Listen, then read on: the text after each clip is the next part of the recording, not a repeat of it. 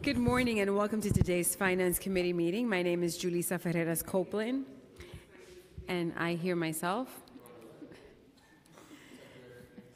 Okay. Just like the Yankees, they. In, in oh, I was in stereo there. Um, I am the chair of the committee. We've been joined by council members Rosenthal, Cornegy, and Vallone. Today, the committee will be considering two items that address the critical problem of deed fraud. Deed fraud, which involves the fraudulent transfer of property ownership to a third party, has been increasingly prevalent in the years following the 2008 foreclosure crisis particularly with the significant rise in property values across the city. Many of our most vulnerable homeowners, such as seniors, are the prey of unscrupulous scammers. Discovery of the fraud can occur too late when homeowners are in the process of losing their homes to foreclosure and can have devastating financial and emotional consequences.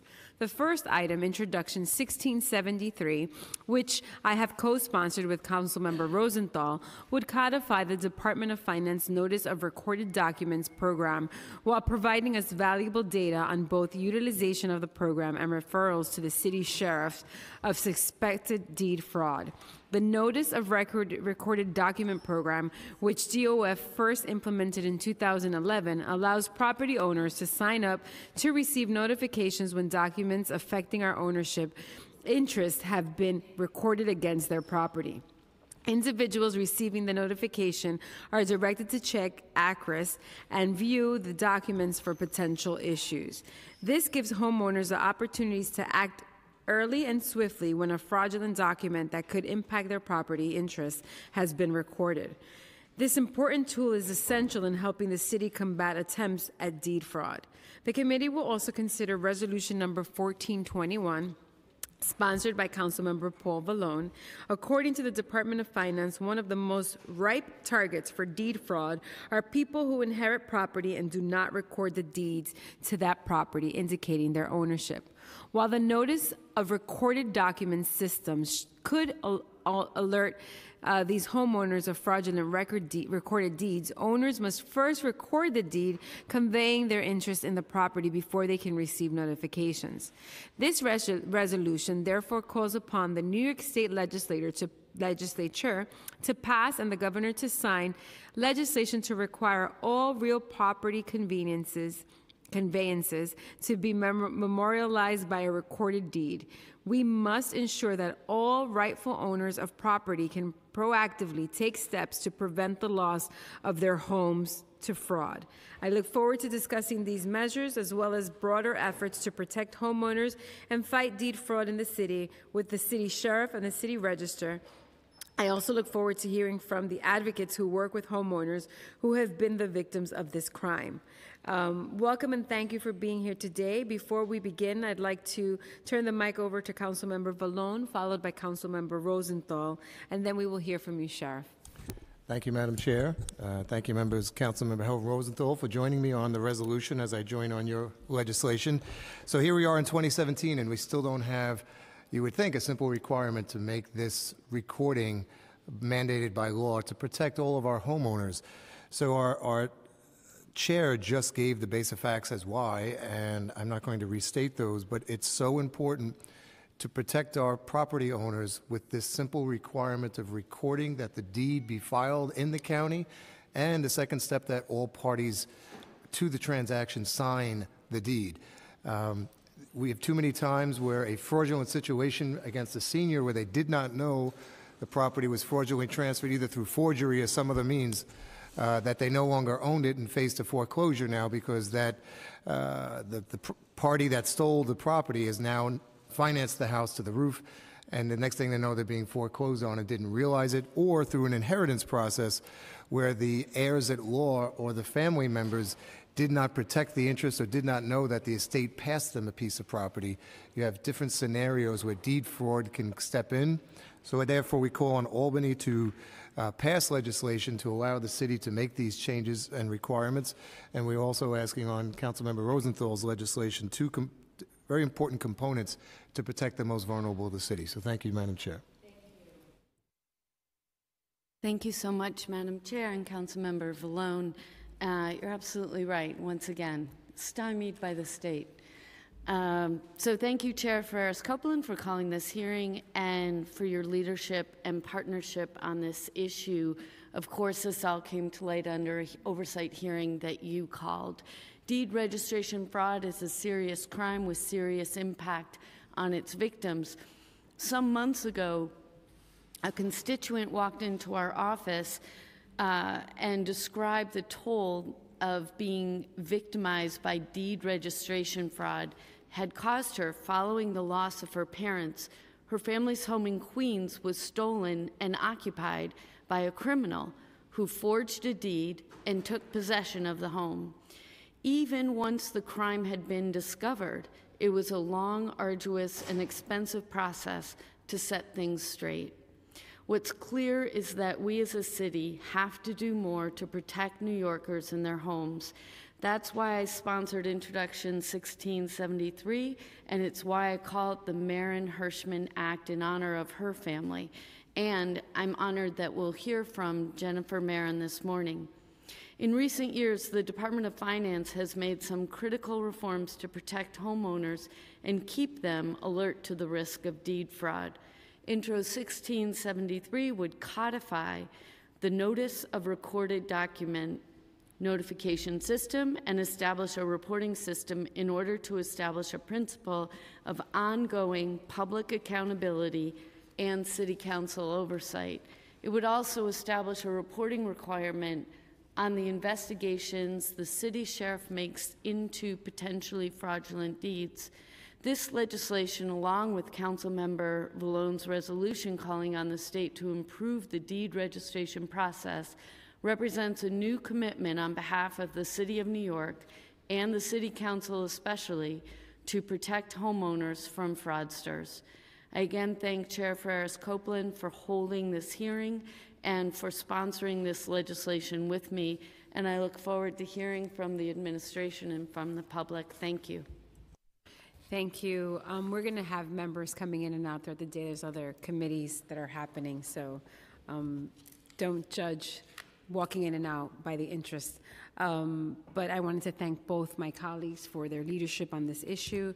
Sheriff, after you're sworn in by the council, you may begin your testimony. Do you affirm to tell the truth, the whole truth, and nothing but the truth in your testimony before the committee today and to respond honestly to council member questions? I do. Good morning, Chair Ferreras Copeland and members of the Committee on Finance. I am Sheriff Joe Fucito. I am joined by Annette Hill, the Assistant Commissioner for Land Records and the City Register. the Department of Finance is working aggressively to combat deed fraud because when the criminal succeeds, people lose what may be their largest asset, their homes. What is deed fraud? Deed fraud is a very serious crime. It happens when someone transfers your property out from under you without your consent or permission, or when you sign over your property to someone else by mistake because you were misled or tricked in a transaction.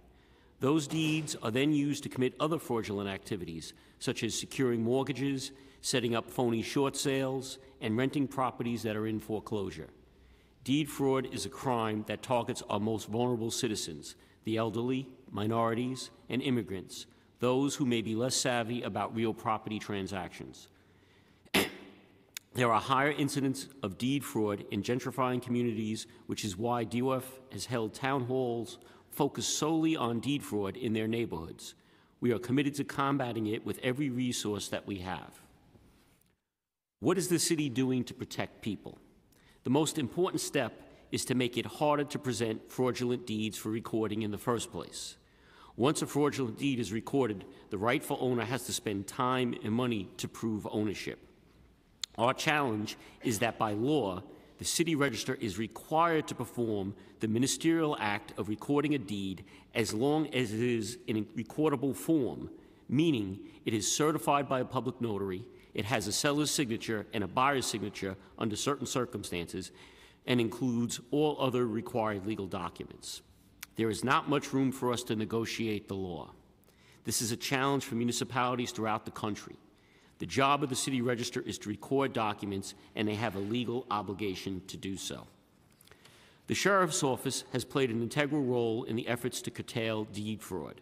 Our deputy sheriffs are trained to better detect forged and fraudulent documents and put the sheriff's office in the review process. We also automatically inform property owners by mail when a deed is filed against their property encourage them to register for our opt-in notification program, where we will send emails or text alerts when documents are recorded against their property. The quicker someone catches fraudulent activity, the quicker the problem can be resolved. Excuse me. Examples of types of recordings that would trigger an additional review are those with a sale price far below market value, multiple transfers between LLCs in a short period of time, or transfers by people or entities known to have committed or have been suspected of deed fraud in the past. These changes have had a real effect. Since July of 2014, when we increased our focus on this issue, more than 1,973 cases have been referred to the Sheriff's Office. We have closed out 1,119 cases. We have completed 96 criminal investigations with district attorney's offices and have 236 ongoing investigations. We've made 37 arrests for 54 properties, which have a total market value of approximately $40 million. We are continuously assessing and evaluating our operations to enhance ways to detect fraud. We are hiring more deputy sheriffs to handle the growing number of cases and looking at how technology can be used to improve detection. In these efforts, we are encouraging New Yorkers to be proactive.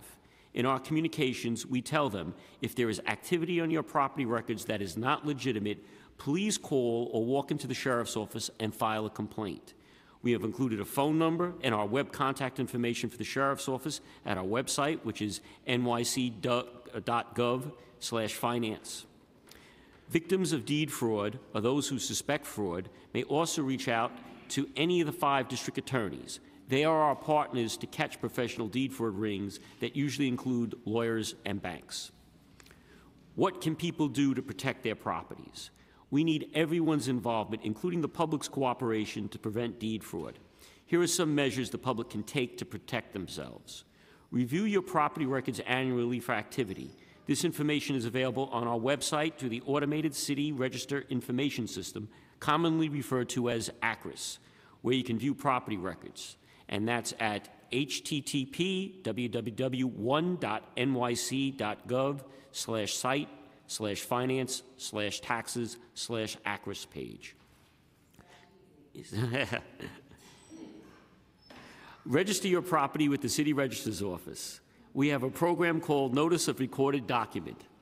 Once you register, you will be notified by text or by email where there is activity on your property. It's free and you can register online, same site with the deed fraud program page as the extension. Check with your Department of Finance if you stop receiving property tax and water bills or if any of your utility bills suddenly increase. If you own a property in New York City that's not occupied, we recommend that you check it often to make sure it is not illegally occupied. If you're going away for a long period of time, ask someone you trust to check on your house regularly while you're gone. Have them collect your mail so it does not pile up, a signal that the house is unoccupied. Be very careful of people or organizations that offer you cash to help you with loan modifications or foreclosure prevention. This is very important. This is one of probably the most key things you should be looking at. Never turn over your deed or transfer ownership of your home to a mortgage assistance company. Do not sign any property related documents that you do not understand. We encourage people to first consult with a trusted attorney before signing papers. Do not hire a lawyer referred to you by someone who might have a vested interest in your property, such as a realtor. From our investigations, perpetrators of deed fraud operate like a gang. They have their own attorneys, mortgage bankers, notaries, title companies, and real estate brokers. Use a title company that you have vetted for real estate transactions and make sure your title insurance has deed fraud protection. One of the ways people can help count of activity, keep count of activity taking place with their properties is through the, registering with the New York City Department of Finance's Notice of Recorded Document, also known as the NRD program. Currently, roughly 45% of registrations are by city government offices.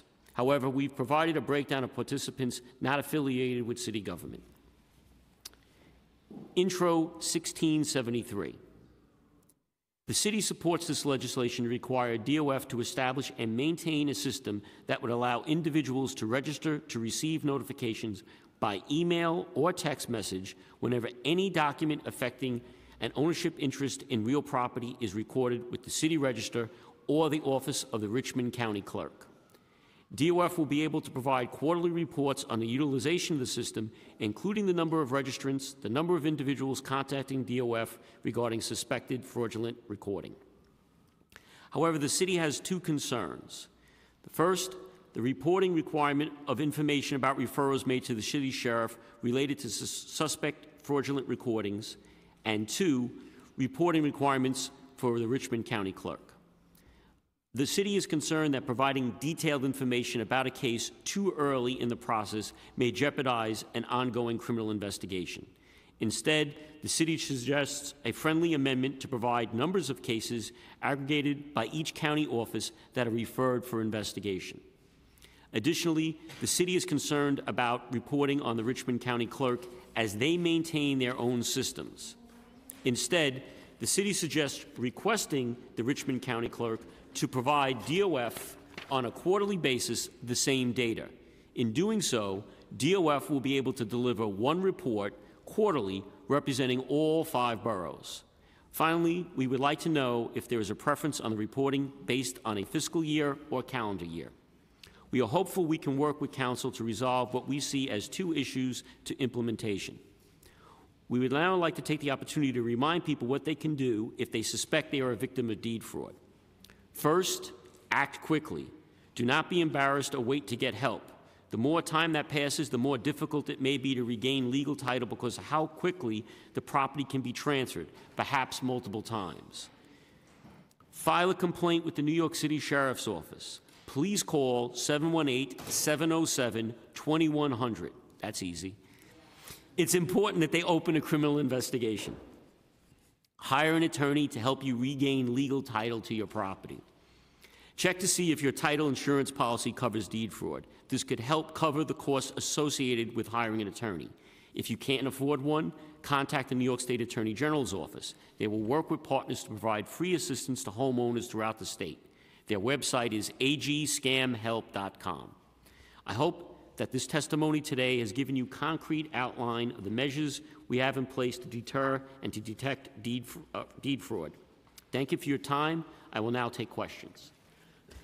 Thank you very much for coming to testify, Sheriff. I must say that you have been a great partner through this process. Um, so I'm happy that you're on top of things. Of course, we want to figure out how many ways we can help um, strengthen your part of the agency, but also um, from a legislative angle, how we can codify a lot of this so it can go beyond our tenure. Um, now, I wanted to ask, and I'm sure Councilmember Rosenthal will follow up, but when you said that 45% of those that are registered are city-owned properties, does that mean that the remain? I, I don't know. I'm trying to understand why highlight the the the um, city-owned properties as opposed to the property owners? Like, what was the highlight there? I'm going to defer to the city register. She handles the recording. Oh, okay, there you go. Can you just state your full name for the record? Annette Hill, M. Hill, City Register Assistant Commissioner. Excellent. Um, agencies such as HPD who might have an interest in a property or DCAS who has owned city property will register to keep track of city-owned property to see if any action has happened on the property. So that's what we mean as 45%. It's most, it's a lot of HPD properties. They do register because they have an interest in the property. So I guess what I'm trying to get at, while I appreciate that number, how many of New York City's properties can you, can you say are not registered? Well, considering we have one point over a million properties, Um, I don't have the breakdown of, of the individual properties with me. I could get that to you. If you can get it for the But, committee? Yeah, but we do have it, what we have, what we gave you is number by registrant, how many people have actually registered for, um, So out of approximately a million, and I want to make sure I'm reading this right, out of approximately a million properties, we have 49,000 registered? yeah, and they could be for multiple properties or one property. I would have to get you a breakdown. Okay, so I want a breakdown of who has multiple properties under a regist, is it one registrant and multiple properties, or help us understand what that's about? Obviously, you know, this is a very big problem if there's only 49,300 properties registered and there's a million properties that are, you know, let's say a million properties that are still vulnerable. Um, so we need to get better at that aspect of why is it that people don't know that this is something they can do? Is it the outreach? Um, I know that your your part of the agency could be limited in resources, but you have an incredible mouthpiece here, 51 members that can help. Um, but we need to understand this process. So that's why we do these oversights hearings and and do um, and, and, and then follow up with legislation. So I just wanted to ask, I'm going to go back to the regis, to the sheriff, and then I'm going to come back to you, and we're going to hear from Councilmember uh, Rosenthal, followed by Councilmember Vallone, followed by Councilmember Cornegy. We've been joined by Councilmember Rodriguez, who stepped out, and Minority Leader Matteo. Um, According to the documents provided to the council, the budgeting headcount for fiscal 2018 for the office of the sheriff was 188 people, up from 178 in fiscal 17. What is the actual headcount, and is it above 188, 188? And when do you anticipate full, um, fully, uh, fully budgeted headcount? We're approximately 120 deputy sheriffs and about 18 investigators. Now, what we've been dealing with is we don't, do not have a certified deputy sheriff list. The exam was given in February. It's probably very close to being certified, and once it's certified, we can then start hiring off that list. So we're basically waiting for a, a list to be certified so that we can onboard deputy sheriffs and investigators. That process takes, uh, if we're being very expedient, which we generally are, about three months to vet someone, and then approximately seven months to train them. So we're not looking at having full staff until sometime next year. Okay, and just for clarity, all, once you ramp up to your 188, and, you know, and maybe the next council session, after we see more movement, may push, have a push to increase your agency for support. But can you um, help us understand what else the sheriff's office does? It's, you're, you don't have 188 people working on deed fraud. No, we have six people, but we also have the resources available to pull more. So the, the, the sheriff's office is a very small law enforcement agency. The best analogy I could give is if the, the police department is the Army, the sheriff is the Marine Corps.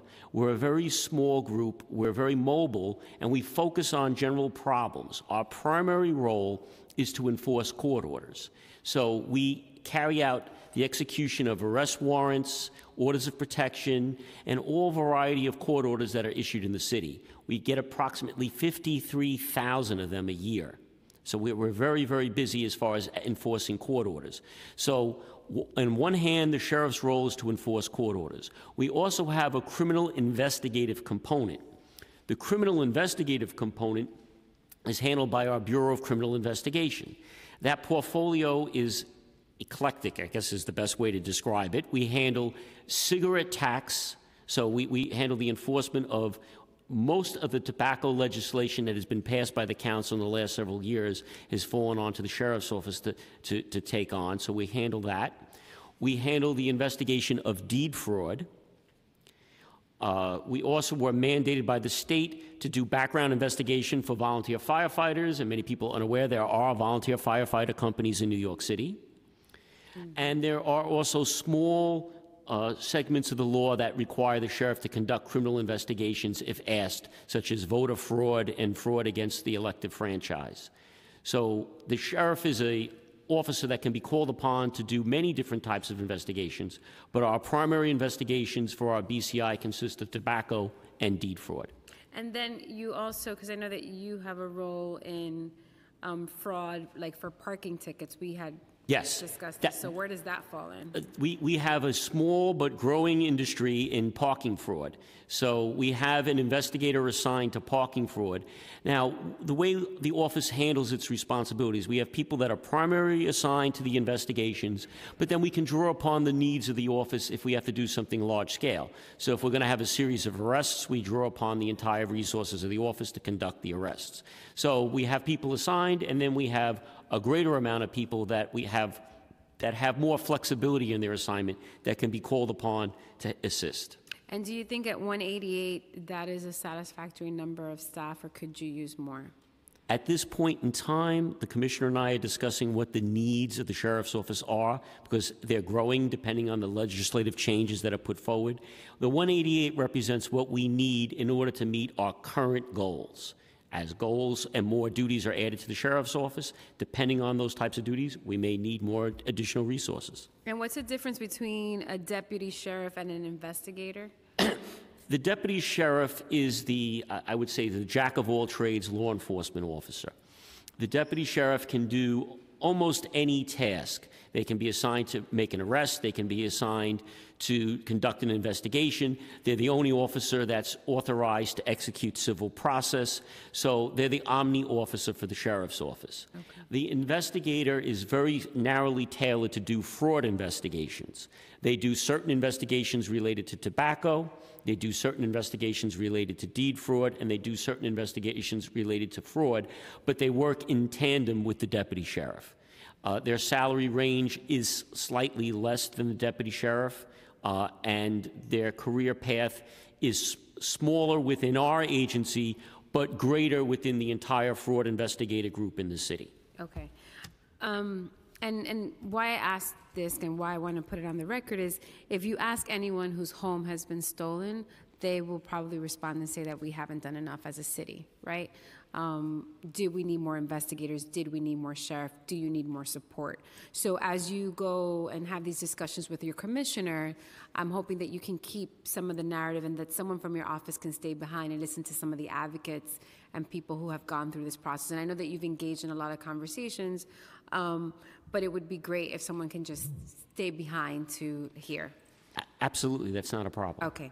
Um, would DOF, um, and I guess this can fall on either one of you, um, ever consider making the notice of recorded document program an opt-out program rather than an opt-in program? And why haven't you done this already? I'm going to defer to the register. You, when you, I just want to clarify, you mean opt-out meaning they have to do it or they do not have to do it? I am just want to make sure That sure they I have to do Do it. they have to do it?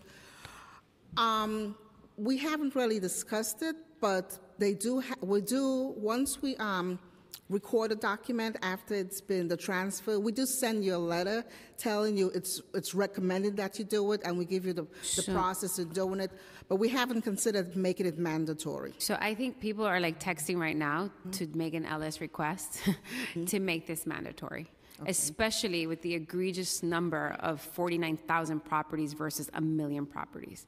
Um, so if, you know, when you get back to your office, I think this is a conversation that, a broader conversation that needs to be had because either you do it by policy or we're going to legislate it. Um, because the number is so varied and almost are you know are we not doing the best that we can um, to protect property owners. And i feel like this might be the space where we we can we can have as many reporting documents we can do as much charts and all this stuff. But if in reality it's the first step that we're missing there's nothing that happens in step two three and four if we can't get to the first step. Um, who created the notice of recorded document system um, internal IT or a consultant, and how much did it cost to create, if you happen to have that? I don't have the figures what it cost, but it was all done internally, Internally? Yes. And it- it's managed internally? and it's managed internally. So if, you know, because there's, every New Yorker that owns a property um, is watching this hearing right now, and they were to register right now, we, ca- we have the capacity to handle registering an uptick in property? Yeah, it's a registration is done online, and um, We, we only have to send a notice if something transpires on the property. So even if there's over a million properties, it's the reality that there's something being transferred every day on your property is very small. Right. So, um, But capacity, I'm saying, right now, your system is taking oversight of about 49,000 properties.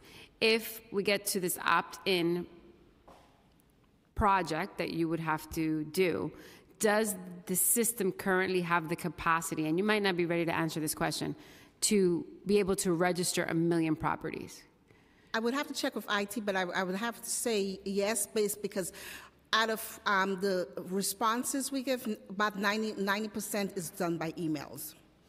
So it's not a physical. We have to send the mail, and it's all Okay, the I just want you to have, um, we're going to follow up question, because I do think you have to circle back with IT. Absolutely. We have had very daunting processes just to change the smallest thing, and I'm concerned about capacity um, once we are able to change this into an opt-in, um, uh, an opt-out, an opt-out, sorry, an opt-out process.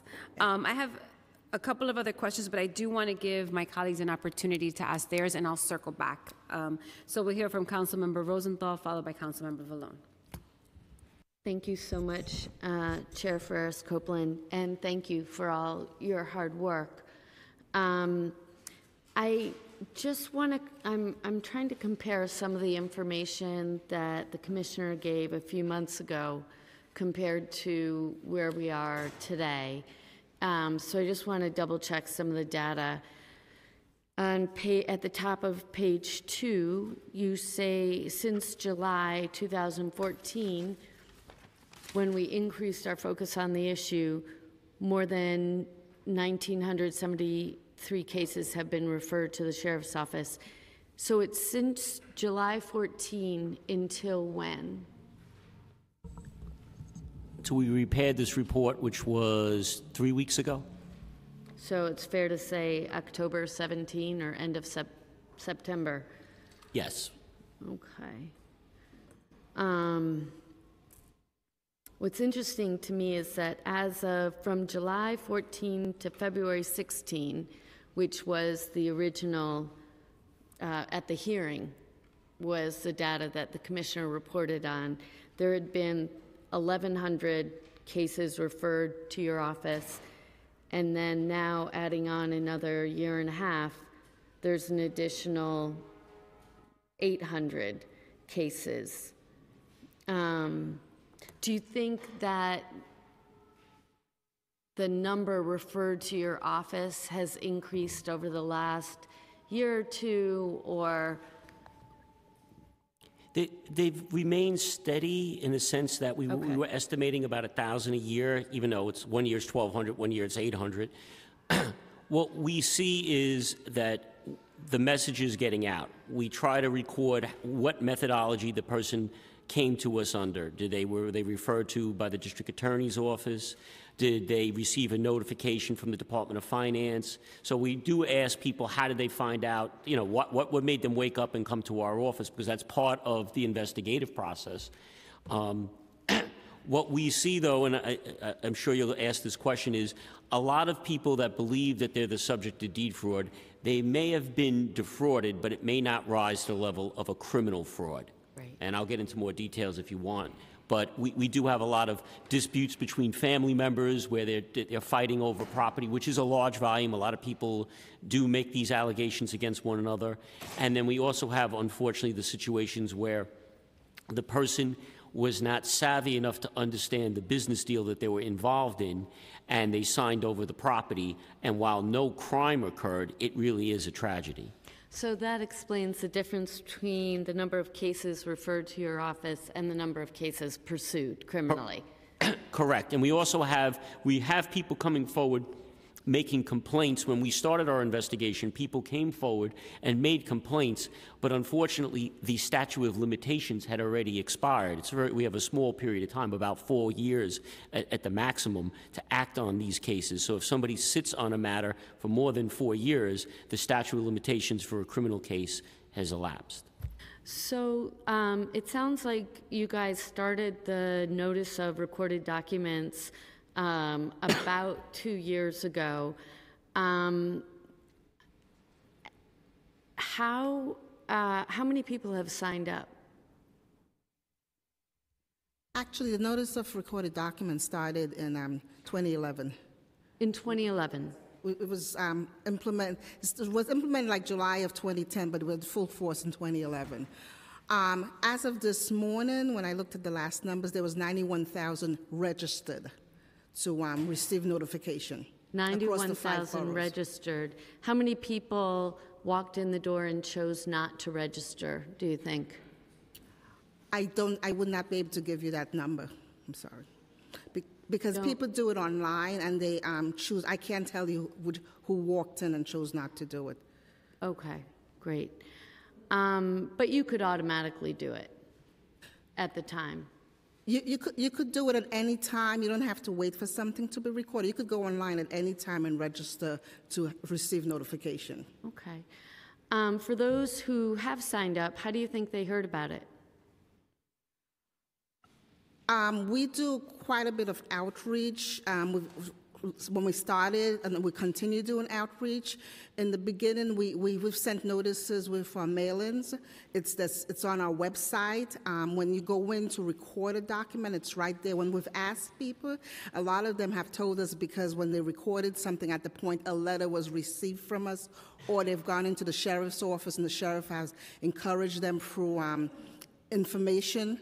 So that's, that's usually how people, the word of mouth or from our website. And so um, you sent, you sent, it sounds like DOF has sent out one uh, notice about this on property tax form, is that it, or? We have done quite a bit since the beginning. We've sent it, we had put notices in our billing statement and when the program first started um, to notify people about this. We have flyers that we sent out.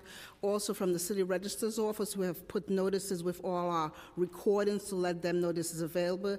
It's been, it's on our website. We've also changed and added it to uh, the ACRIS system. So if someone goes in to check on their property, and it comes up automatically telling you that this is available and you could register. Is it uh, systematic now that every year, uh, like once a year on the billing, it's, in- that language is included in the It's property not tax bill? systematic, no. Okay. Please. Um, Thank you, um, Councilmember. So is this in, to- I just want for clarity, in six years, we've been able to register 91,000 properties? We've had 91 registrations, yes, In six years? in six years. With a million properties out there? Uh, no, thank you. Um, and actually, it'd be interesting to see the trend on that. If you could see the numbers registered every year, is that possible? Okay. Um, so, what would happen? How many people? Uh, what happens after they sign up? and they get a notice of a filing that they don't recognize. What happens then? After they've signed up and they received a, a note, a- after they've signed up, if something transpires and it an interest in their property, they'll get a letter from a seller, this has happened. In the notice, it tells them, if you know about this, then you, you- do nothing, because you know of the transaction. However, if you have a question about the notice, go online, look at the um, ACRIS system, contact the sheriff's office immediately, or come into one of our offices, the, the, uh, either city register office, for additional information. Um, so, how many times do you think um, you've sent that letter out? In other words, of the ni- 91,000 who have registered, something, Since we've started doing the automatic notification once um, a document's been recorded, ev- we record over, for deed transfers, over 90,000 documents a year, give or take. So I would say it goes out at least 90,000 times a year with each recording. Over 9,000 times. 90,000 documents, deed recordings a year.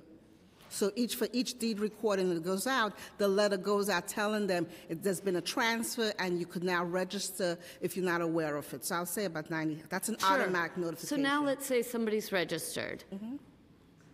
How many times has it happened that a letter has gone to them saying there's been a property transfer? In other words, the reg, by registering, it triggers something, right? It, Yeah, it it only, it- yeah, I'm sorry, I didn't mean to interrupt. It, it, you'll only get a notification if, if another, something else is registered against your property. how many times has that happened? I would have to look and see for each property, how often something has trans, transferred on that particular property. I can't tell you. I don't need to know by property. I just want to know in total. I don't have those figures available me, how many times we've sent it for each property that has been registered on a property. I don't have that in front of me. Yeah. I'm- unless I'm just wondering if the system works, mm-hmm. and then when it works, how many of the letters that's been sent out, how many people have then contacted the sheriff's office to say, ooh, I got a letter some, saying something's going on with my property. No, I haven't done anything, so what's going on here? Those figures? We don't keep track of it. I don't have those figures. What we do look at is we have increased numbers of call-ins based upon the mailing that they received. And a lot of times, we're able to dismiss the complaint very early on. That's why our complaint dismissal rate is, is, is high, because somebody calls up because they did a re- refinance. Because that transaction affects their real property, it triggers the notification. And so you're, you're on the line. So exactly what I'm trying to figure out is how many times is it something straightforward like that? How many times is it not straightforward? In fact, something We haven't collected data on that in the sheriff's office. untoward We- has happened. So you uh, don't know about the success of the program. No, no, I can't tell you how many times that complaint triggered something that was going to be something larger. Many times, the trigger for the program is simply that property, there was a refinance, they're notified of it, or what we have had is people who are part owners of a piece of property. So you and I own a piece of property together, and then uh, the, one of the partners sell their interest. Because you have an interest in the property, you would get noticed. It's not a fraudulent transaction, it's legitimate, but because the notice is triggered based upon any effect of your real property, you'll receive the notice on it. Okay. It, it strikes me that it would be worth knowing the success of what your program is. It makes common sense, sort of obvious that it would be important. I don't know. Okay. Um, so if someone has been victimized by a fraudulent deed filing, so now it's, it's a criminal situation, um, what services does DOF or the city offer to that person? Well, we have a criminal investigation, which will conclude if we make an arrest and, and, and, and refer the matter to the district attorney's office. We do the follow-up trial investigation for the DA if any of the evidence is needed while the, the trial is going on. If the DA needs a witness or that or something else develops during the trial that the DA would like to know, that matter is referred to the sheriff's office. The actual getting the property back into a person's hands isn't in the role of the sheriff in this format. There is a method, but it's more ministerial in nature, and I don't have any mech, I'm not involved in the mechanics of it. I'm involved in the conclusion of it. How many um, cases have you, how many cases have you brought where you've said something fraudulent is going on? We've made 37 arrests where we- That's we were right. able to prove that there was a criminal Right. activity in the transfer. So the completed cases with the DA was 96, and the arrest was 37, or the properties 54. Mm-hmm. Let's assume that the important numbers to look at are sort of completed cases, 96, minus 54. What happens to the other 40 people? 40 You're- properties? You're, you're mixing apples and oranges. okay. The number of cases and the number of people arrested and the number of the properties, they're all permutations. They're not one for one for Okay. one for one. Because we arrest How one many person. don't succeed so that somebody never gets their property back? The issue is, even if we conduct a criminal investigation, the person may never get their property back. That's why it's not a piece of data that we actually track. Our role is to show that there's probable cause and build the criminal case. Once we have done that, we have no mechanism to get the property back into the person's hands. The mechanism to get the property back into the person's hands is for the person to go to court. I got you. Yeah.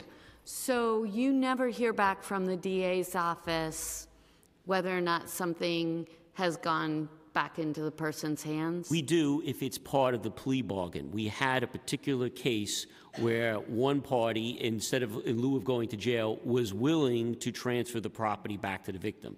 But that was two pieces of property, and it was involving one arrest that we made, and that's a small percentage. So two were plea bargains, so you know it went back. And the, all the rest you don't know.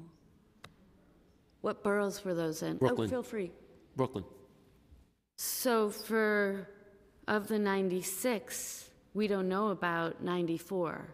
Correct. Again, th- we don't keep data on if the person gets their property back or not. You hypothetically, as DOF, couldn't you know, couldn't you do a run today that we sent over 96 cases, and uh, in those cases, XYZ person was listed as the property owner, and then do a run today to see who was listed as the property owner?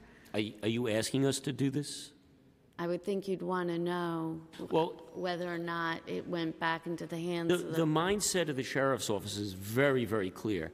We're ministerial in nature, meaning that we carry out the exact measure of the law that we're supposed to, and we act within the, the parameters of the law. We generally don't go beyond our role because our resources are very small. The New York City Police Department is 30,000, New York City Sheriff's Office, 188. So Yeah. our, ro- our role is to fine. I carry mean, out the mandate. I guess my point and my disappointment, I'm sorry, I'm looking a little bereft, um, is, is it's another example of the city thinking in their silos, you know, agency silos, versus from the residents' point of view of, you know, across all agencies. It has nothing to do with what you're doing. You're doing an amazing job. I appreciate all the work you do. Um, for seniors who can't sign up on the internet, um, do they have other ways of signing up? Yeah, there is a paper form that they could mail in, Uh, or if they happen to walk into an office, they could um, be assisted. Okay. Is there any reason somebody wouldn't want to be getting this information? Like, is something annoying to get the information? Like, why not make it an opt-out system? Um, I can't speak for what a person would want or want to do, but I will let you know we've had some people who've been annoyed that we actually sent a notice telling them something transpired. So not everybody likes to receive, you know, paper and endless notification. But um, I can't say as to why, you know, if they would not want to get it. Okay, thank you so much. Thank you, Chair. Okay, thank you. And I guess those would be the people that opt out, right? If you're annoyed of getting paper. Um, but if you don't know, anyway. Um, so I just wanted to follow up and just for clarity, because this committee in particular, and I'm sure also in, in aging committees um, and the senior centers um, subcommittee, you can have an opportunity to speak to the district attorneys. I am, and I know this has nothing to do with you, you don't even have to respond, but I think it is incredibly daunting and I, I don't even have a word to express that you can plea bargain to give someone their house back for no time. Like you committed a crime, you stole my house, and the big plea deal is, oh, please get out, and then we're okay. And I, I, I'm not saying I know what your role is. I know you just show this is a case to investigate, but I got to tell you how frustrating it is from our end because we have to give constituents a response, and it's horrible that that's where we are. And I know we've come a long way because I think that in many cases we weren't even seeing these cases really brought up or there wasn't enough investigative work. So I applaud you for your collection angle of it, right? Because you want to put the best, give them the best tools and the best case. Um, but I do believe, um, as committee members, uh, even beyond January when I'm not here, that you could remember to to put some questions and pressure on the DAs, um, because I think that that is not fair that part of the deal is that you get to leave the property and then you don't do any time. I don't know, that's just me kind of being boisterous. Councilmember Vallone, please. Thank you, Madam Chair. Uh, Sheriff Fucito and Commissioner, thank you very much. Your knowledge makes this hearing uh, uh, that much better, so we're getting the exact answers that we need. Um, I don't think the, I think we have two, two-step process. One is creating a new and better process to protect owners who are unaware, because clearly, based on the testimony, those who are aware and are part of these programs voluntarily are the ones that are usually protected. So our goal is to now create a system for those who aren't voluntarily participating in the NRD program or any other program to then get some type of trigger notice, not the traditional notice, because I do get a lot of homeowners are upset with all the different mail. But if they were to get a notice saying, hey, a deed has been filed, did you consent to this? I don't think they'd get upset over that one. So I think our, our goal is to create a new system in place to protect existing homeowners so that we protect the most vulnerable, like you were saying. And then, Sheriff, I'm interested in, seemed like you had some testimony as to the protection and the handing off to the district attorney as to ways we can either increase fines or look at criminal existing statutes to tighten them up. Um, so let me let me start with the first one. Would would there be opposition to requiring and mandating the NRD be provided at notice at a closing to a homeowner, or that the Department of Finance provide a homeowner document of owner's rights at uh, any type of transfer, so that they could mandatorily be part of this process, especially the notice of recording? I would have to talk to the commissioner about the IT component and obviously the cost, but the commissioner is always willing to listen to issues that help the community. Yeah, because I'll, I'll give you a similar scenario. We had a hearing on mandating restrictive covenants, and the same problem came up as homeowners weren't aware that there was a restrictive covenant. So we were trying to think, well, how can we make them aware? And uh, Department of Finance came up with a great new recording on the time of acris, a box that says, is there a restrictive covenant on the property? But the problem is title companies aren't requiring it, so that's a separate issue. So I'm looking at creating a mandate that must be followed upon the transfer of property and then a subsequent way. So I think a statute requiring that you must be part of the program and with some type of opt-out provision if you can would be a great step. I think that would be a good one. Um, and then, Sheriff, you had mentioned the statute of limitations. Like my head's abuzz with different legislation ideas and res- this is what happens when you have a lawyer on it. So I'm thinking similar to other more egregious matters that we ask Albany to stay the statute of limitations. On, it doesn't start until notice is, is received by the landowner that some type of fraud may have occurred. To hold against them a statute of limitations that they didn't know exists is certainly not fair to any homeowner because they didn't know the fraud occurred on their house until either you come knocking or someone tells them, hey, there's a foreclosure. I- I agree with you. I think the complexity will be how to narrow it down to the specific field because we don't charge a person with deed fraud. We charge them with various levels of larceny. We charge them with uh, filing false instruments. So this, th- when, when we successfully prosecute, when the district attorney successfully prosecutes someone, it's, it's you know, the, the caption is it's for deed fraud, but then that's, that's not what they're convicted of. They're convicted of other offenses, and those offenses usually capture more than just deed fraud. Larceny obviously captures all different types of theft. Grand larceny captures all So different there's types. no existing criminal statute specifically for deed fraud? There's Well, no, there's no problem. specific deed fraud-related crime. It's grand larceny for obviously the property value, and then there's all the various um, filing of false instruments with a government agency. So if the documents that you filed were fraudulent, we charge you. There are perjury charges. Could I ask for your assistance in providing what those existing larcenies and crimes are that are Yeah, the general penal law, would- we'd have to go through it on the different charges, but they're just the various penal law charges of grand larceny that, that are dependent on the property value. Dep- Over a certain amount of money, it's a, a certain level of grand larceny. I would think probably most, most properties in the city trigger grand larceny because of the Yeah, level. absolutely. Most, tri- most real properties do, but then there are different levels of grand larceny depending on how, how high a value the property is worth. So do you think there's room there to tighten up or expand what those There's- fines and criminal statutes are? There's always room to modify the law, but again, it relies on Albany to change these, these laws, to add these certain provisions in. Because Well, this we can, it- we can very start the process. to this issue. We can start the process with misdemeanors, but when it comes to felonies and larger, well, then we'd have to go to Albany. Right, So correct. We could probably take a two-step process Yeah, on that. Um, So I'd like to, to follow up with that. I think that'd be important. certainly. on, on those. How many cases Do- Did you, there was a 96 and a 37 going back and forth, but you had said some, some of them didn't reach the level. Excuse And me? that's what, you said some of them didn't reach the level of triggering the fraud investigation. and that- Correct. That got my ears also. So how many do come into your unit in total, besides the ones that We, you actually? we, we took in 1,973 cases, and 1,119, we were not able to show some level of criminal activity or the statute of limitations has expired. We were not able to bring it to an arrest. We were not able to show that there was criminal activity. All right, those are two big differences, though, Yes. statute of limitations versus meeting the limit, the limit, uh, the the requirement of criminal. Right. Do you have the difference between those? If you would eliminate statute of limitations, I, I don't have that figure because early on in the process, we look at the statute of limitations. So if somebody comes in and says, you know, Could you get that subsequent data? I think that would be important for us. If we can I remove believe we could, statute. we'd, we'd have to do a little digging to get it. If this is something important, we'll dig and look and see how many that we were able to say.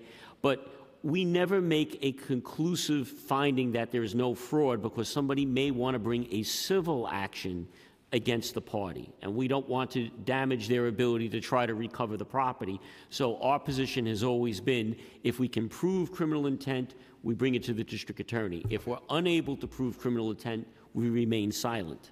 Well, that's why I think your two friendly amendments were right on point. I think there's a place where we don't want to get involved. So if there's a separate civil action, uh, Richmond County has a separate recording process. so I think that's important. So I don't think we'd have any opposition to the amendments. Um, Commissioner, I saw you, you stepped up. Did you want to add in on any of? Oh, hi, I'm Sheila Feinberg at the Department of Finance. I guess I just wanted to uh, clarify a few things that have come up in this hearing. And one was this number of the million properties, and it's true, DOF assesses over a million properties. But where we see the cases of deed fraud occurring are in Class 1 properties, single-family homes, and mostly in predominantly gentrifying neighborhoods. So I just wanted to give a little bit more context to those numbers that were Thank discussed you. earlier. Can you, class one, how many are we at? I knew you were going to ask me that, and I don't have that number for you. But I should have it Googled you. it. I know I should have Googled it, but I um. Can you just give us, I, I won't hold you to, but a guesstimation?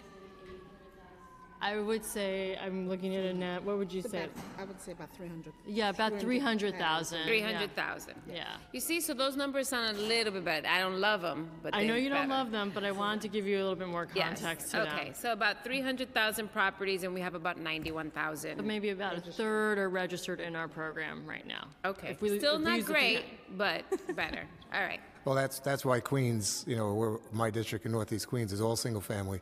It's, it's one of the prevalent topics, especially with my seniors, um, as to the fraud committed upon them because they own the property for such a long period of time. A husband or wife may have died, and the surviving spouse is completely unaware of the deed that's existing or what their rights are. And then the, the next case is the kids who inherit, or the grandkids inherit, have no idea the percentage ownership that each one has, what their rights are, or if one decides to unscrupulously try to sell it or transfer without their knowledge.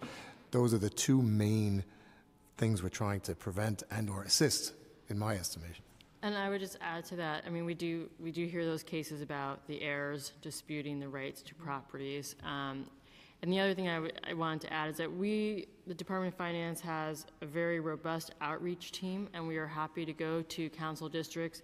We're happy to come to you to talk about our defraud program, the work that we are doing. We have a brochure that we are also revamping. Um, I know that we did a town hall with Councilmember Cornegy, and we're happy to do another town hall. Is there any requirement upon the notice of a death of a homeowner on the Department of Finance to, to send a notice to the surviving owners? Not currently that I'm I think aware that's going to be a subsequent bill also.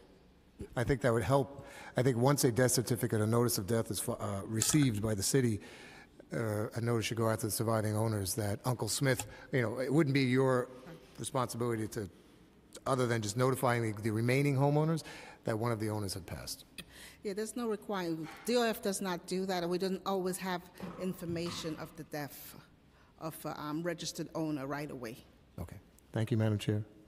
Thank you for your help to us. Thank you. Um, Actually, uh, Councilmember Rosenthal had a question, and it was about, have any Class 2 properties ever, or any other of the other classes seen deed fraud?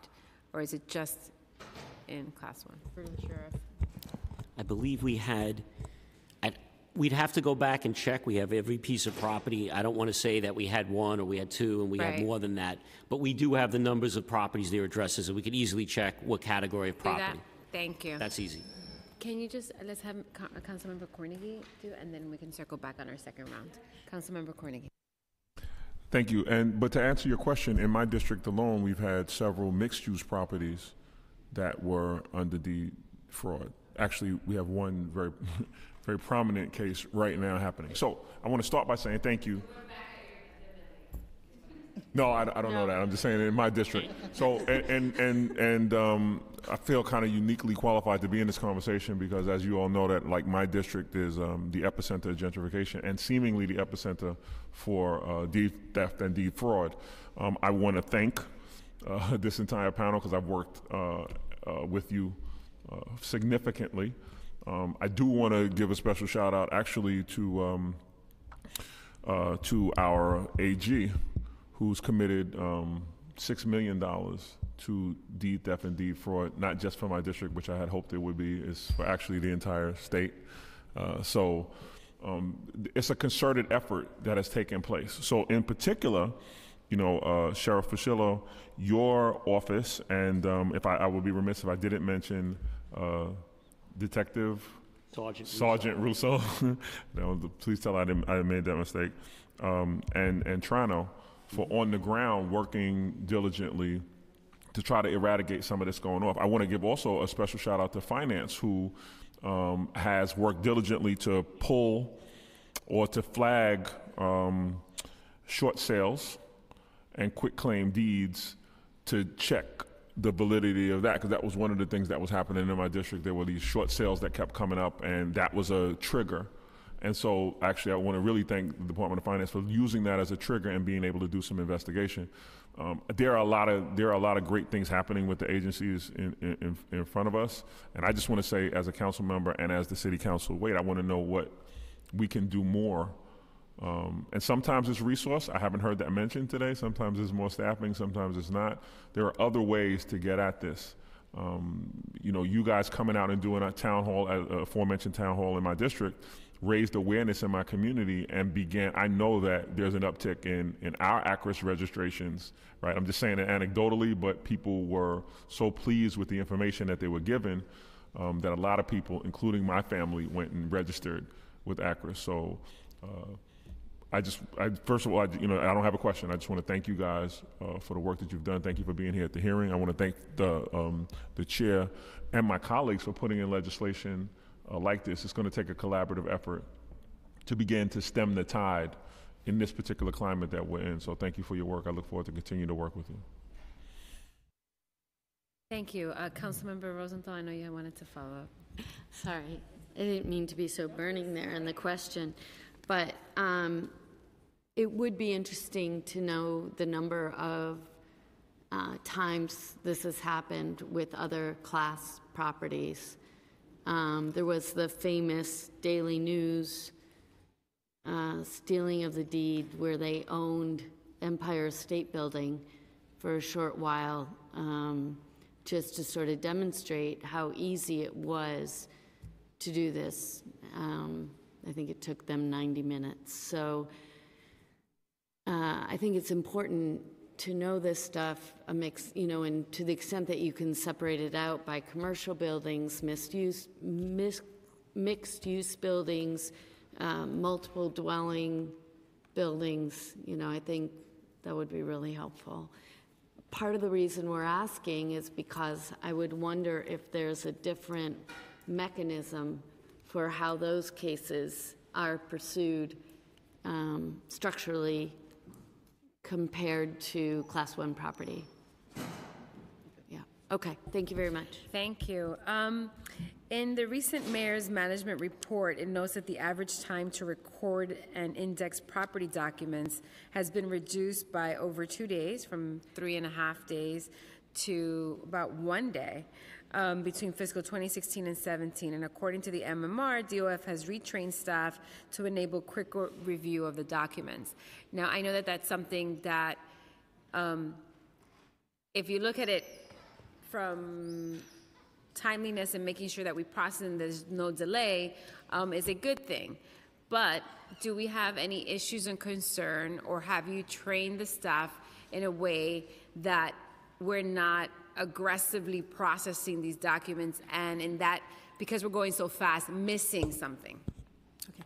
Part of that, part of that um, retraining was actually creating a group within the city register just to look at documents that are flagged. We've also put um, in our system, we've put mechanisms to flag certain types of documents, such as somebody who's a repeat, who we've had people who've come in um, and have tried to submit a document which the sheriff is aware about.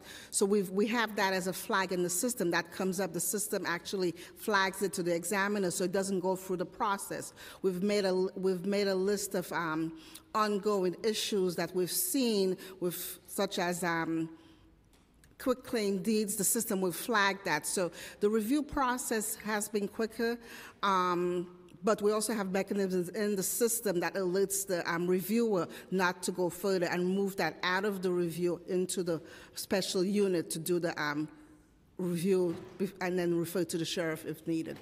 So all the cases that are flagged within this one day, right, within your window, are then sent to another process within your department? Right. If, a- if a unit, if a, if a unit, um, a recording is flagged that it needs additional review, it is removed from the whole recording system. I have a, I have staff that will go in and do the legwork to check the chain, look at the recordings, look at the name, and we'll send that package for further review over to the sheriff, where he will start looking at for other things within it.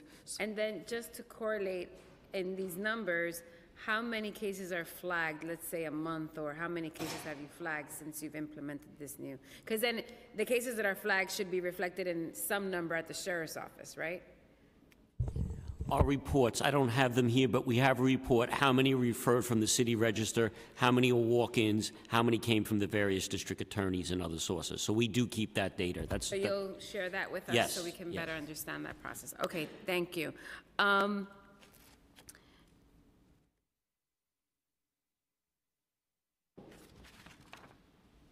I'm gonna, I have some other questions, but they're all very um, technical, and uh, we want to hear from the advocates and those that have been here for, for, um, to give their testimony.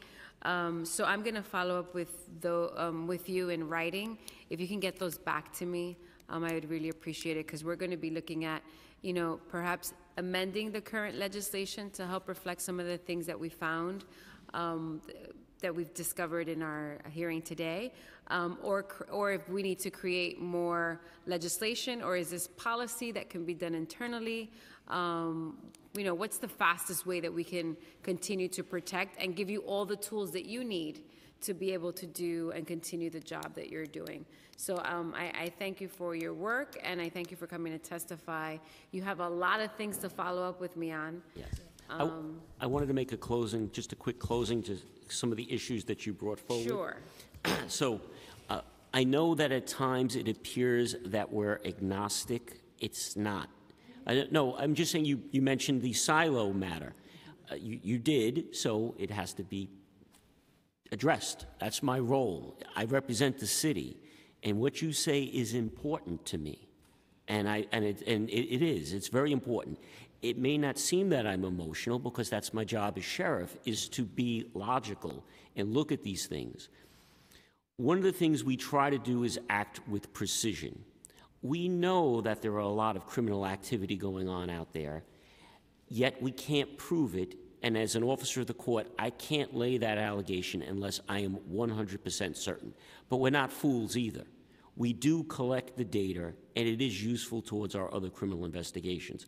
But please do not believe in any way, shape, or form that we're siloed.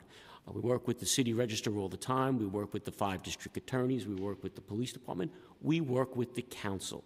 It is very important for us that the message gets out that we're partners. The sheriff is a partner. We don't go it alone. And that's what I wanted to conclude with. Well, that's a good wrap up. Okay. Um, thank you very much. We will, you, like I said before, you have a lot of follow up, a lot of numbers to get back to me. Um, and hopefully we can do that expeditiously. Thank you very much. We're going to call up our next panel. Is our final panel? Okay. Uh, Jennifer Merin and Marcel Negret.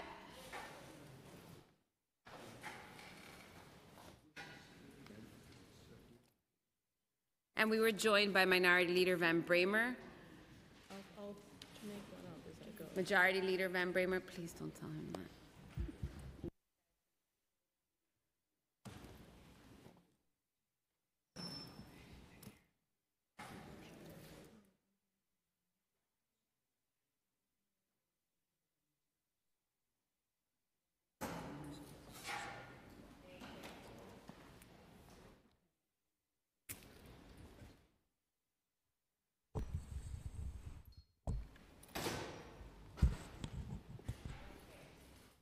Thank I, you for I coming. see to shaking heads TS at me. Does that mean I speak now? I've never done this before, so Oh, well, please bear with welcome me. to your home. Thank you. Uh, And uh, yes, you may begin to testify. Thank you. You don't have anything in writing, right? I don't. Okay, that's Um, fine. We'll get it recorded and it'll be I, transcribed and I for the can record. prepare something afterwards and submit it to you as well. That would be Uh, great. So if you can just state your name for the record and then you may begin. Yeah, my name is Jennifer Merin. I am the Merin whose family is reflected in the Merin Hirschman Act. I am the victim of a crime in New York City. The crime has completely disrupted my life, turned my situation completely upside down. I am very aware at this point that I am not the sole victim of this crime, and that my experience has brought me to the position of representing many others who have suffered a similar situation, victimization, actually. When I walked in today, and I've never been in this building before, when I walked in today, I noticed on the ceiling over the dais, of the people, by the people, for the people. This is a principle that I have grown up with. I grew up in this country. All of my civics classes and all of my experience led me to believe that that is a principle by which we live. And in this situation, in this room, I am the people. And that's why I feel it's important for me to speak up here and to let you all know what it is that I've experienced and what that has taught me. And I don't want to go on forever. It's a very complex and long discussion, this one. But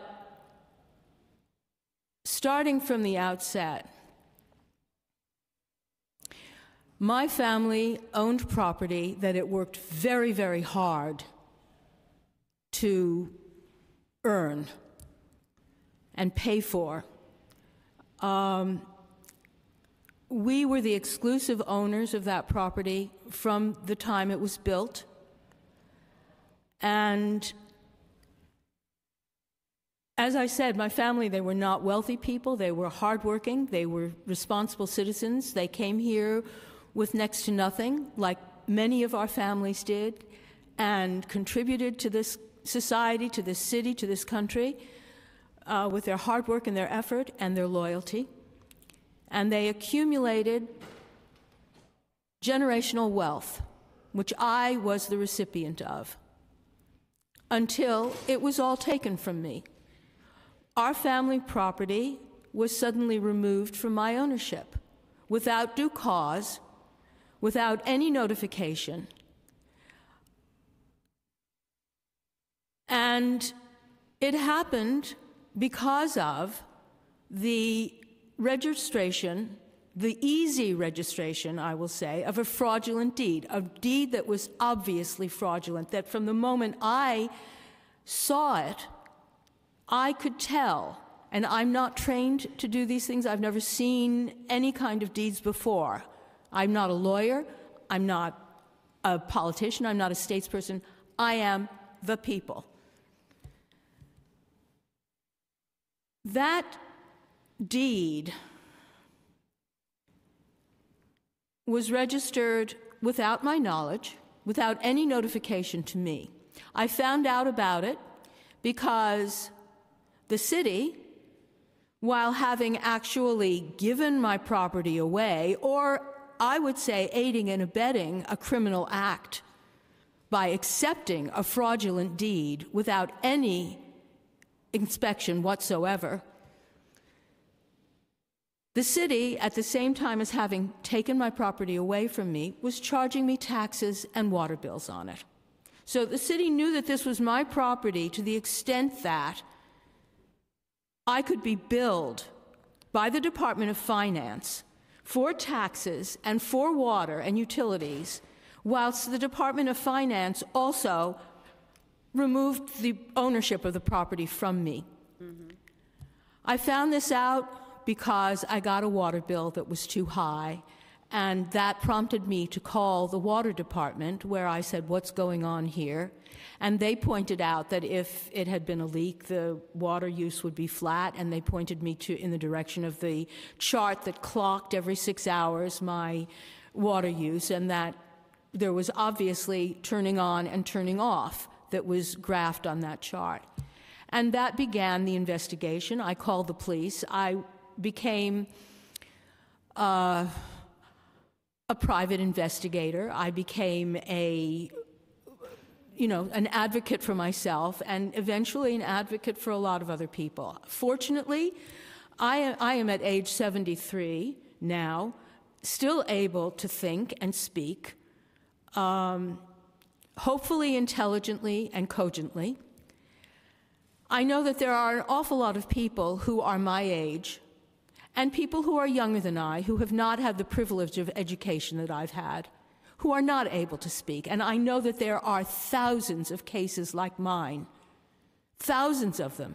I get calls even after, and I, everyone's acknowledged that it was my case and the news that it generated that brought uh, the situation to public awareness, and that the city did respond to that uh, by instituting certain um, procedures.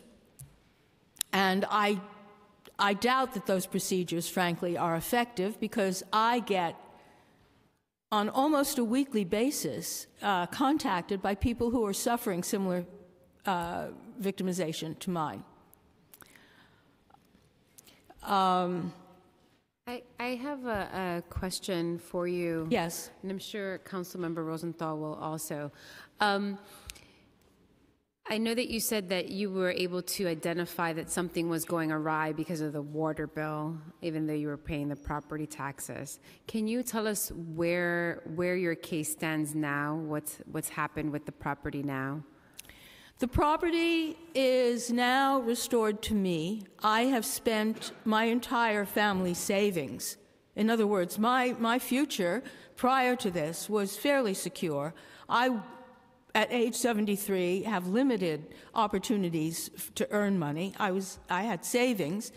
Uh, those were all um, put into uh, getting the house back. I had a long and arduous um, two lawsuits. One required to evict the, the deed, the fraudulent deed holder, uh, who was squatting in my house, and the second to have the deed restored to my name.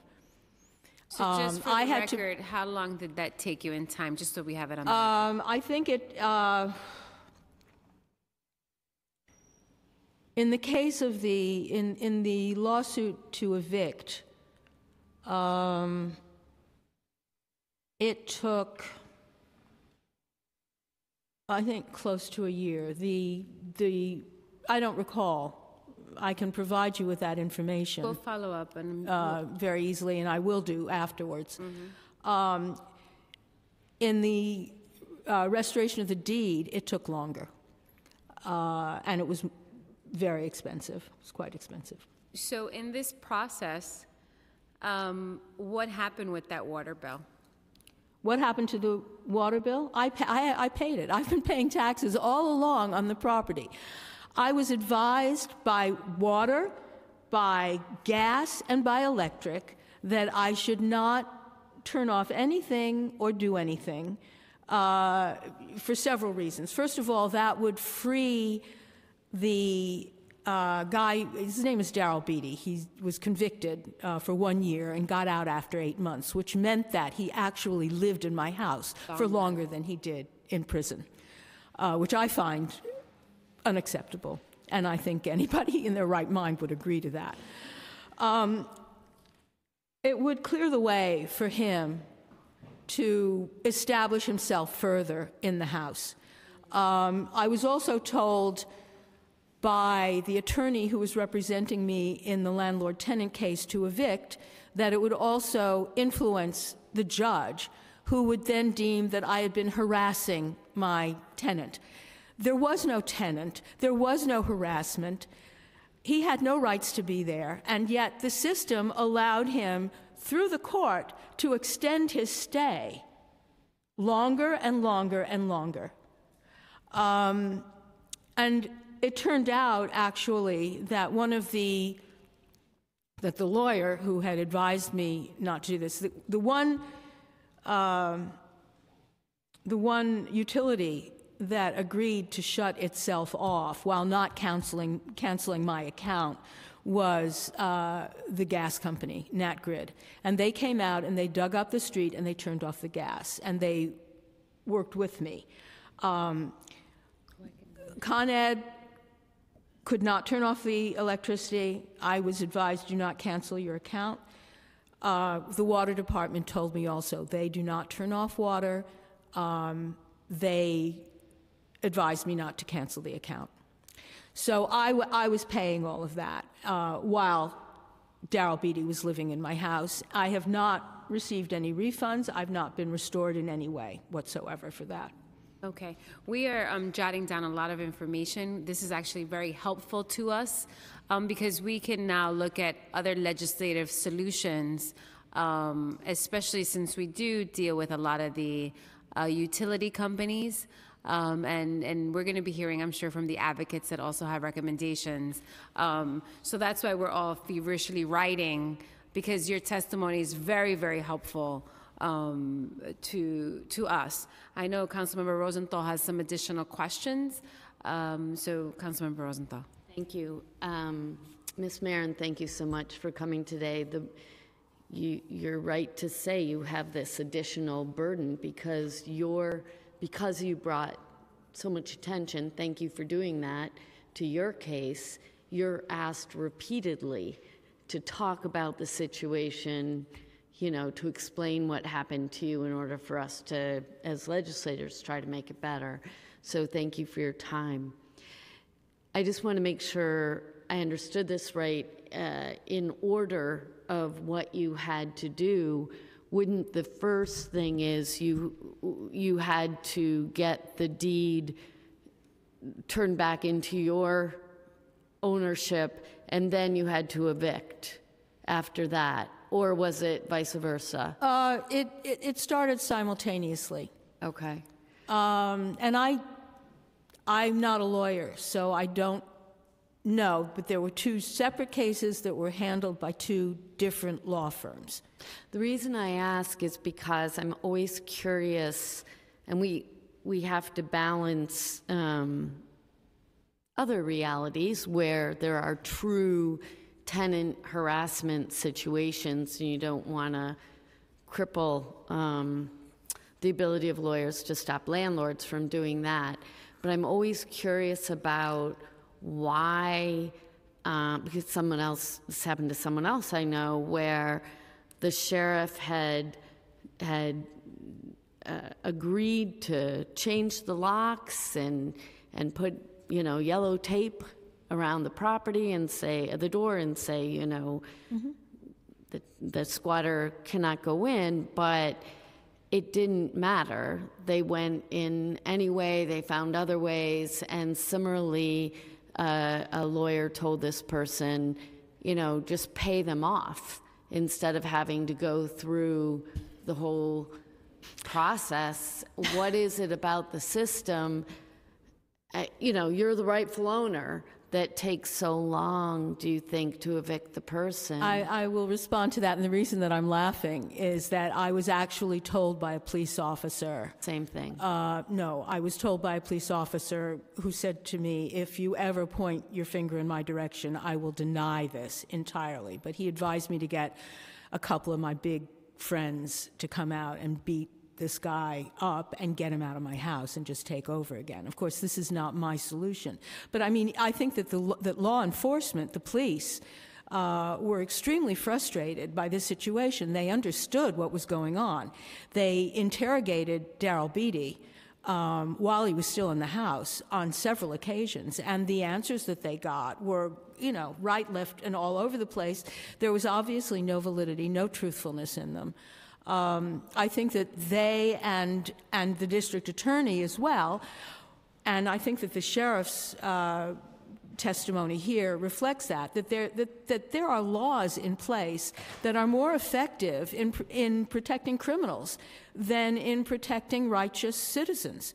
I have felt that the criminal justice system has been very preferential in its treatment of Daryl Beatty.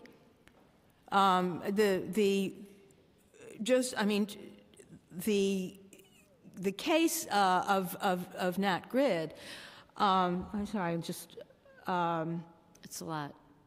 was was because they turned off the gas and because Daryl Beatty went to them and tried to turn it on again and used the fraudulent deed, it was the one piece of concrete evidence that could not be escaped. I mean, he, he actually, everybody, he, they had him, they nailed him on it. It's a very small piece of what this entire crime reflects. This is a huge crime with many, many, many different um, facets to it. There's the property property theft. My, all of my family's belongings were stolen. There's the fraudulent deed. There's uh, you know the breaking and entering. I mean, there, it's a it's a massive, massive crime that breaks out into lots of different um, facets. And in my in my experience. Um, there is very little coordination between departments and the powers that be in this city to work together to prevent this from happening, to stop this from happening. That was my experience. I was dealing with lots of different entities that were doing lots of different things. And even within the Department of Finance, obviously, there's a divide in information. As one, one uh, person, arm of the, the department, is saying, You don't own your property, you can't go in. Which, in actual fact, prevented me from filing burglary reports until way long after items that might have been traced could be traced. And when I was finally able, after the eviction, to report the burglary, I was told by the police department that that was an old case and that they were not going to investigate it. This is my family's treasury of, of valuable antiques, one of a kind things that were worth roughly a half a million dollars. And were, were things that were going to be given to the city. They were designated for different museums. Really beautiful things. I photographs of them I can send you and all of that. They don't exist anymore. The legacy is gone. This act is now my family's legacy. To keep keep this from happening to other people. And I'm rambling now, but the point that I was making is that the Department of Finance does not talk to itself. How can water and, and, and property tax Hmm. continue to bill me, to know my address, to know where I am, while the other arm takes away my property and says, You don't own that?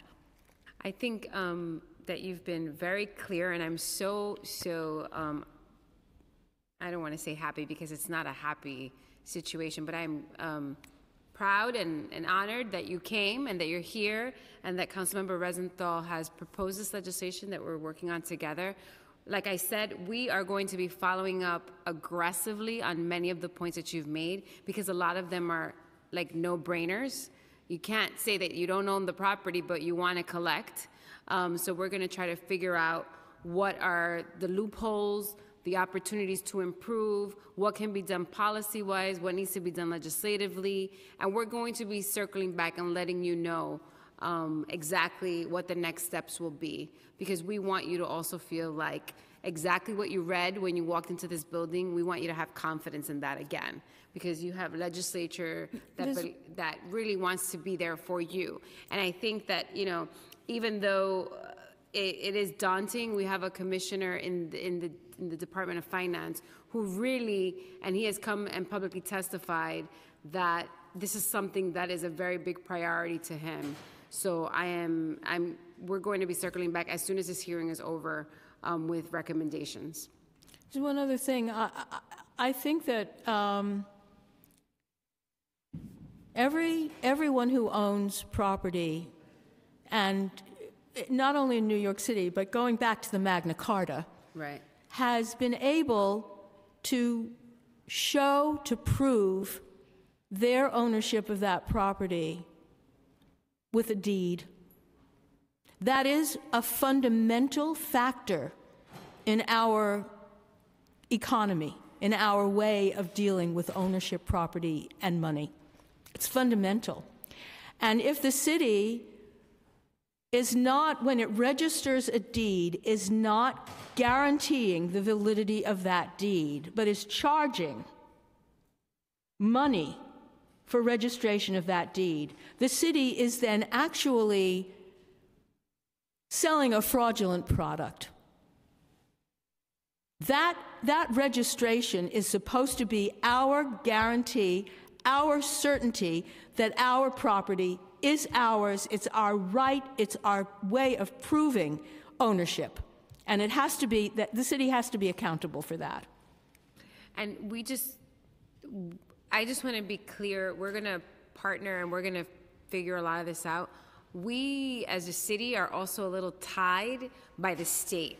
There's a lot of legislation that needs to go in the state, and we can attempt to push as much as we can and present resolutions. And, you know, many of my colleagues have great relationships with people up on the state. Um, but I just want to remind everyone in this room that we need to start putting some pressure on our state elected officials to Yeah. make sure to clear up some of this. Um, And to that end, I've been told by a lot of people, and I, I can say this also and, and introduce this by way of testimony. Uh, for example, um, the district attorney of this city is very frustrated by the refusal of the state to enact stricter laws for economic crimes. There have been lobbying efforts made by district attorneys associations throughout the state that try to get economic crimes to be taken more seriously. I understand that there's a big difference. I didn't lose my life. They didn't kill my Aunt Beatrice. They didn't kill me. They took our property. There's a difference between violent and economic or white collar, whatever you want to call it, crime. I get that. But the fact is that they have um, they've made me ill. they've attacked me physically by taking all of this property. They've put me in circumstances that become very difficult for me physically. It's affected my health. And economic crime has to be dealt with more seriously. Uh, we, we need stronger laws. Daryl Beatty should not have gotten out. Uh, it should not, I mean, the whole, this is another area I understand that I'm raising here that's not directly um, connected to deed registration and, and making that uh, more uh, assuring or, or a sure process. But Daryl Beatty was automatically released from jail early, automatically. Didn't matter what he did, and he knew that going in. I was the only person, the victim, who didn't know that he was up for automatic release. yeah. I mean, it's, this, is a, this, is a, this is a city matter that needs to be changed. It, We're in agreement, we're your allies, and we're going to be, Thank you. you know, uh, following up on some other things. Thank you so much for coming to testify, Ms. Merin. We're just going to hear the testimony from this advocate right next to you, and then we're going to wrap up the hearing. You may begin. Um, Good morning. My name is Marcel Negret. I'm a project manager with the Municipal Art Society of New York. We're an advocacy organization uh, that works towards a more livable city and uh, helping shape the, the, the built environment through uh, sound policy and regulations. And so through this lens is how we've become familiar with utilizing ACRIS as, a, as an informational platform. And some of the comments that we'll be sharing today, I think, uh, go beyond of what the, of the scope of the proposed legislation, but I hope will be useful in understanding the limitations and capabilities of the current uh, uh, system. Um, the Municipal Art Society of New York has a number of recommendations we urge the city to include in Introduction 1673. If amended consistent with with our recommendations, we would fully support the proposal. The bill must apply to all document types pertaining to the transfer of development rights and zoning lot mergers as a means to, of increasing transparency and accountability of non discretionary land use actions. In addition to the proposed notification system, the legislation should also require a quarterly downloadable digital publication that discloses key real estate information from relevant document types. Finally, the legislation must require improvements to the functionality of the existing online platform, including better searching, filtering, and previewing cap- capabilities. As identified in our updated accidental skyline report, which was released last Monday, we recognize the importance of improving online resources by making data standardized, comprehensive, and accessible. Therefore, while we fully support improvements to the notifica- notification system for ACRIS, we feel the proposed legislation needs to adopt the following recommendations to significantly advance existing usefulness of the platform to the public and effectively increase transparency with regard to development rights and properties.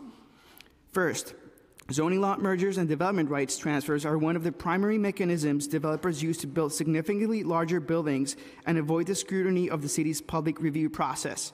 Hmm. Unfortunately, the city lacks a platform that provides clear and accessible information about non discretionary actions such as zoning lot mergers and other property transactions not subject to CEQR and ULURP. In its current form, the legislation omits these important actions. As such, the bill should be amended to specifically include documents that record zoning lot mergers, the transfer of or acquisition of development rights, zoning lot development agreements, also known as ZELDAs, easement agreements, air rights, or any other similar action pertaining to development rights. Second, uh, in the interest of increasing transparency to the fullest extent practicable, we recommend that the city be required to submit physical and digital notifications to the local community board and council member whenever document types pertaining to development rights are recorded in the office of the city register or at the Department of Finance. Uh, third, the bill must require the Department of Finance to publish at quarterly intervals a list of aforementioned document types pertaining to development rights. The database should be made available to the public in formats that allow analysis and integration with other existing property datasets, such as Pluto, uh, which is a land use dataset compiled by the Department of City Planning. A- according to this dataset, there's 850,000 properties in the city. Uh, and I think it was disclosed by one representative from the Department of Finance that uh, there were 300,000 residential properties, and I think that's on, an underestimation. Uh, it's probably closer to 700,000 properties in the city. Uh, last but not least, although property records and financial documents are posted on ACRIS, navigating the site can be cumbersome exercise for most users. The document type section of the platform does not allow users to filter documents based on date ranges longer than 31 days and lacks the capacity to allow users to search documents relevant to a specific geographic area smaller than the borough level.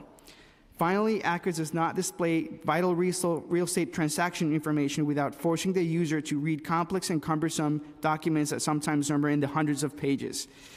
The bill must improve functionality of the existing ACRIS platform, including searching capabilities that allow for a broader range of dates, such as years or even decades, allow users to filter filter document types based on geographies defined by community boards and council districts, and display the total number of square feet being, being transferred and the borough and the block lot numbers of the properties involved as a preview in the search results section.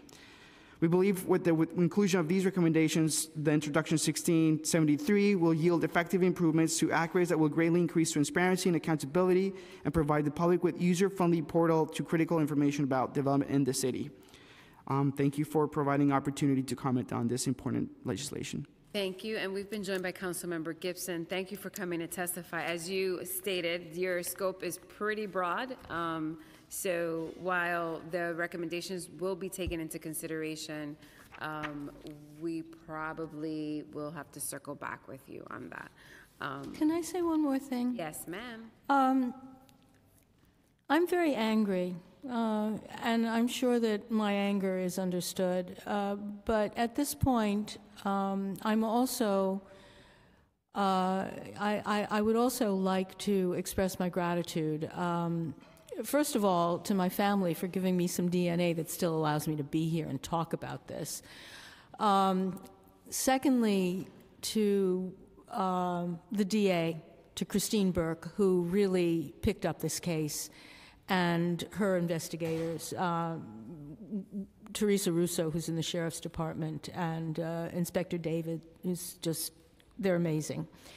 And also, I'd like to thank all of you uh, for hearing uh, what's going on and for moving forward to take some to take a stand on it and try and change things for the better in this city. Um, again, I, I said this is this has become my legacy. I emails and calls for help from lots of people, including lawyers, including uh, city officials, even. You know, how do we, what, uh, questions about what to do next uh, i- i- with situations like this. It's not over yet. And I'm grateful to all of you for moving forward with this. Um, and I hope that it will make change. Yes, we are committed to making change, um, and thank you for that, that we really very much appreciate that. I know that the sheriff is here, and he stayed because he, I know they wanted to make sure we heard the testimony. So I thank you, Sheriff, for coming to testify today. I thank you all for coming, um, and we will call this meeting adjourned.